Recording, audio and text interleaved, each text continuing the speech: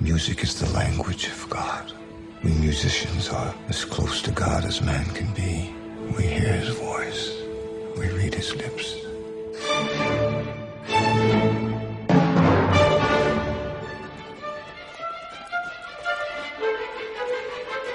I've come from the conservatory. You insisted on his best composition student. But you're a woman. Forgive me, Herr Schlemmer. I may be a woman, but I am the best student.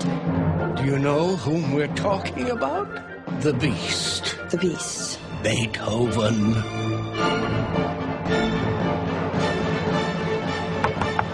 He can't hear you. He's deaf, you know. What's this? I wrote it in B major. Why did you change it?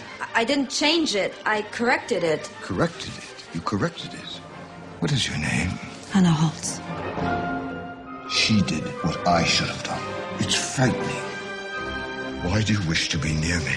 Because it makes me believe that I too can write music. But it has promise.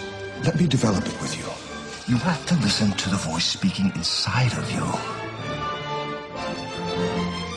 He insists on conducting. He can't hear the orchestra. I can't do this, Amos. I will help you. I will stand where you can see me. I'll keep the beat for you.